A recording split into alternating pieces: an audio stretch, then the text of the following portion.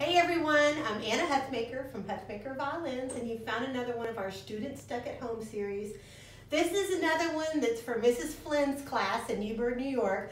This was her idea to do a couple of videos on cases and storage and transportation for our instruments. So thank you Mrs. Flynn, I hope this is what you had in mind. Um, now we did violins and violas a couple days ago and today we're going to do cellos and basses. They require a few little extra special details and um, so I wanted to teach you about them. Especially because a lot of you guys might not ever need to put cases on cellos and basses those first couple of years that you play. I don't know about where you live, but here in the North Atlanta area, the violins and violas are rent instruments, they carry them back and forth to school, but the cellos and basses often, for that first year, maybe the first two years, they use the ones at school. So they may actually go for a couple of years never having to handle a case. So I want to teach you the important things you need to know. So when you get your instrument, you know how to handle it. The most important rule for a soft case, we're going to start with the cello, but this also goes for the bass. The most important rule is take the bow out before you take the case off. Now, I've already taken the bows out of these cases, but you want to make sure bow comes out first goes in last when you pack it up. Very important rule. And basically, cellos are pretty easy. These cases, they come with two kinds of cases, I should say. Um, the first is a soft case. This is what most of you will have if you have a rental cello. Um, and your schools often will have soft cases. They're made of canvas. Sometimes they're extra padded. And they're pretty easy. They just slip on and off usually like an overcoat. And the main thing to know is you do everything from the top. Take it off from the top, put it back onto the scroll first. And again, there's not a bow in there. So also, a lot of these soft cases will have backpack straps, which are wonderful. I do want to give you a fair little warning.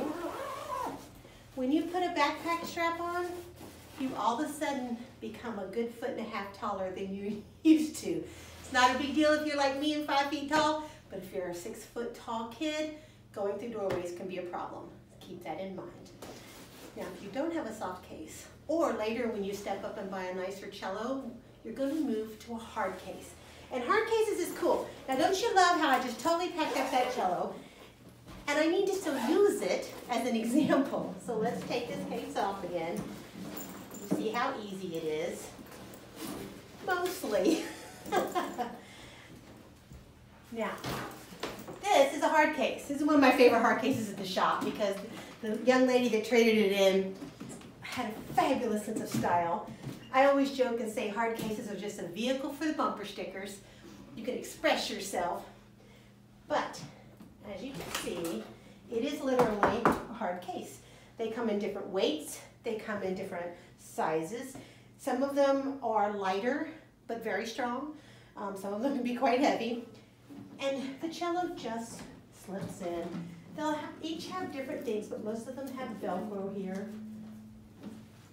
So you can strap your cello in. Now, here is the most important thing to know about hard cases. Please do not put your cello in it like this and walk away. This is amazingly unstable. And when you close it up and you latch everything, please do not walk away and leave it like this. If you're backstage at any youth orchestra rehearsal or concert across the country, you'll see all these cellos standing like this. Again, they're surprisingly not very stable.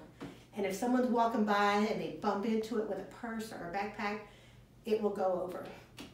Don't let the words hard case fool you.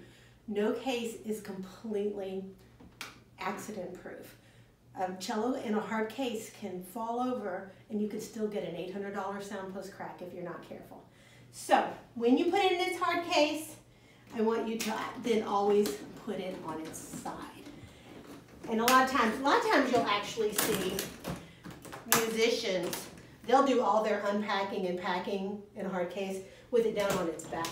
So when I see somebody with that, doing it like that, I think that's a person who really knows what they're doing and they have a really nice cello because that is the most stable way to do it.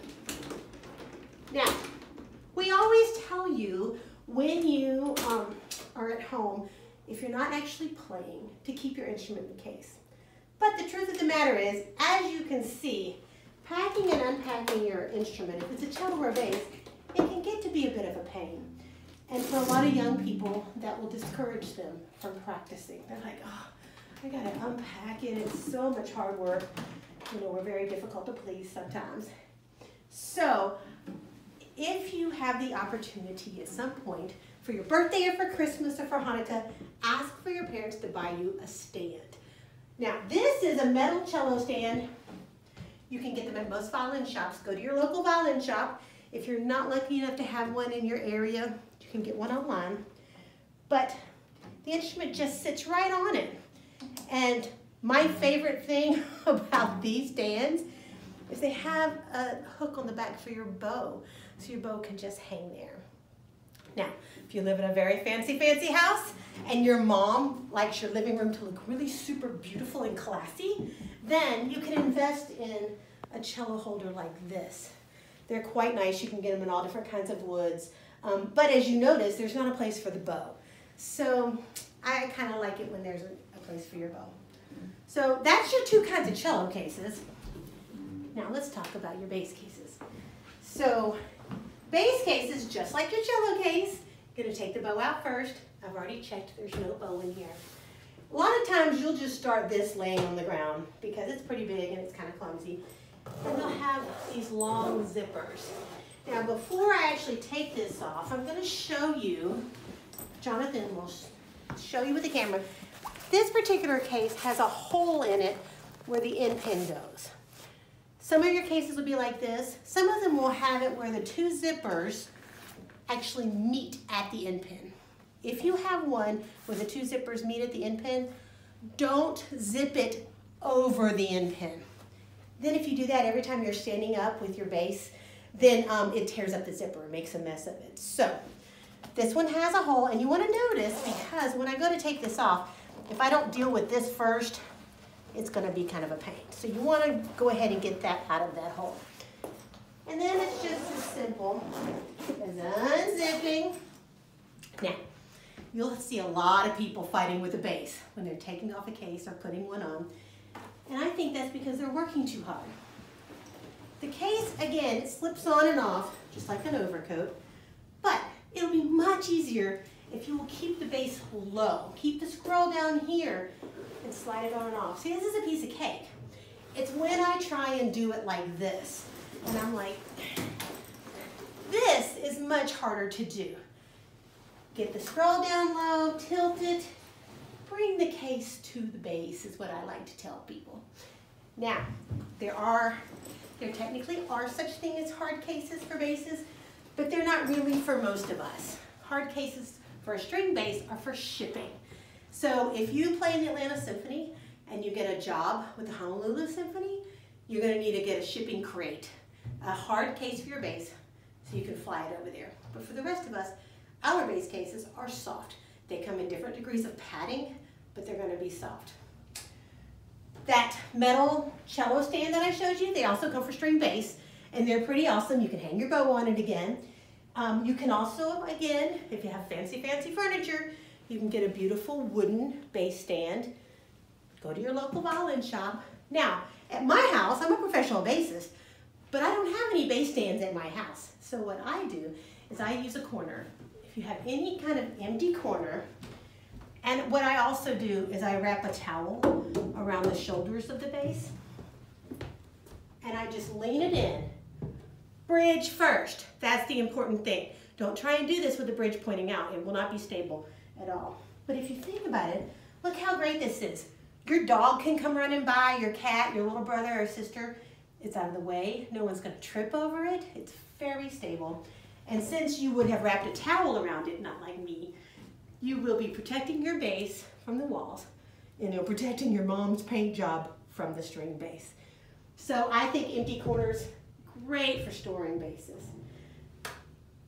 Now, in terms of transportation, we're not going to talk about that in this video because putting a cello in a car, it's a little bit of a thing, not that big of a deal. Putting a string bass in a car, it's its own thing. So next week, we're going to do a video that's only about that. For right now, I hope you understand a little bit more about cases for cellos and string basses and potential stands, ways you can store it. So they'll be out and you'll be inspired to grab them and practice every single day. As we say here at Huthmaker Violins, practice on the days you like to eat. Now, go practice. I'm Anna Huthmaker with Huthmaker Violins. Thanks for your time.